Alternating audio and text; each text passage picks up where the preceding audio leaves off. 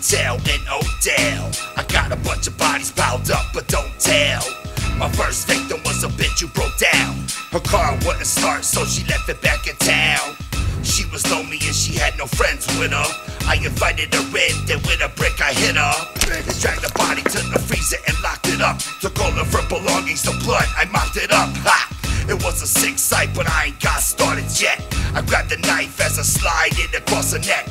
And as she lay still, I fucking caught the feel. I did it for the thrill, but I'm on a necrophiliac. Cause I'm a maniac who lacks morals.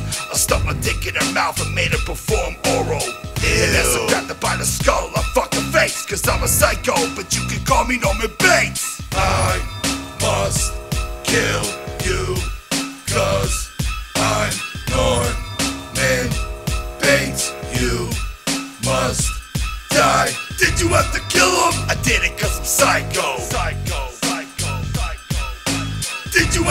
kill him? I did it cause I'm psycho. Psycho, psycho, psycho. So I went about my day after I killed this chick. The thought of the murder to my stomach, it makes me sick. I saw a couple pull up in the car to check in. They walked in and said hello. I had to grin. I greeted them and said, How can I be of service? I tried to play it cool, but inside my mind I'm nervous. Probably cause I got the constant urge to kill. I checked my guest in and wiped the sweat from my grill. There was a hammer inside my desk in a drawer. I pulled it out like I'm about to hang a picture on the wall. But instead, I killed another guest dead. I swung my hammer across his jaw and bashed in his head. And his girlfriend tried to run away. I pulled out the Glock and shot her in the back. She got blown away.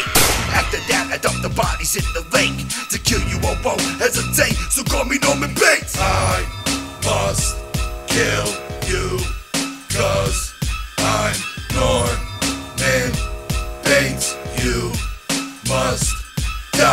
Did you have to kill him? I did it cause I'm psycho. Psycho, psycho, psycho. Did you have to kill him? I did it cause I'm psycho. Psycho.